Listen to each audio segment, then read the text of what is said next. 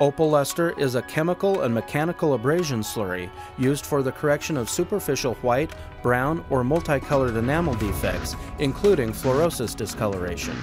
Opalustre is for professional use only. Before beginning the procedure, determine and record a baseline shade. It is also recommended to take photographs for patient records. Because of the hydrochloric acid contained in Opalustre, isolation is extremely important. Also, both you and your patient should wear protective eyewear. For additional patient comfort, apply a lip emollient prior to treatment. Apply the rubber dam attaching to the frame and inverting the dam at the gingival border. For additional protection, use OraSeal caulking to prevent tissue damage. Simply peel back the rubber dam to expose the tissue. Express a small amount on a pad first to check flow, then express a thin ribbon of OraSeal caulking beneath the rubber dam along the gingival margin to prevent leakage. Reattach the rubber dam to the frame and reinvert the rubber dam where needed.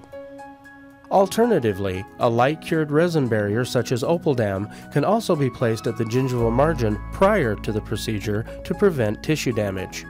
When using OpalDam, express the resin to build a 2 mm strip along the gingival margins, extending about 0.5 mm onto the enamel.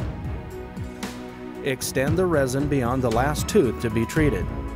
Where open embrasures exist, express resin through the opening onto the lingual gingival tissue.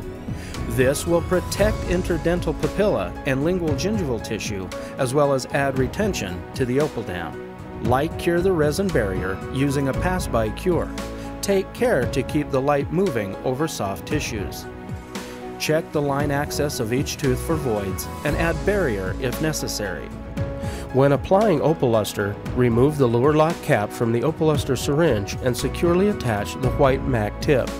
Verify flow prior to intraoral placement. Apply approximately 1 millimeter thick layer over the discolored area. Using a rubber prophy cup at a slow RPM, apply medium to heavy pressure for 60 seconds at a time. Suction the paste from the teeth first, then rinse. Evaluate and repeat as necessary. Reapplication can be conservative and limited to the areas requiring additional treatment. After the final rinse, remove the rubber dam and sealer from the teeth, then rinse thoroughly. Apply a neutral sodium fluoride gel to the enamel for 4 minutes. Remove fluoride gel, evaluate teeth, and record the final shade. Take home whitening products can be used pre or post op to blend and further whiten treated teeth. If the patient is experiencing any sensitivity, wait 24 hours before using take home whitening products. Take post op photographs to record the outcome. In this case, a single office visit resulted in significant improvements to the enamel. Contact your Ultradent representative for more information on Opalustre and our entire menu of whitening treatments.